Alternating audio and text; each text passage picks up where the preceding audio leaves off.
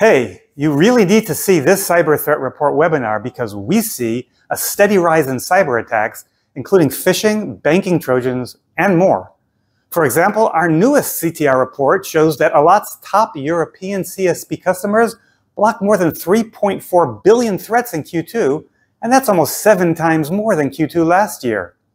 So join me, our cyber experts, and Ed Amoroso, the former AT&T executive and CEO of TAG Cyber, to learn what these trends mean for all of us and for service providers, highlighting the importance of and the challenges faced by service providers who offer security services to their customers.